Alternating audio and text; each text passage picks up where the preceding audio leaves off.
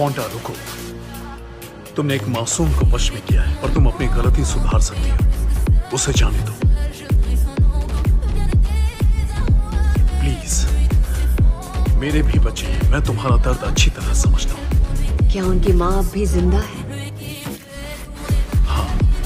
अच्छा है। बेचारे अनाथ नहीं कहलाए जाएँगे।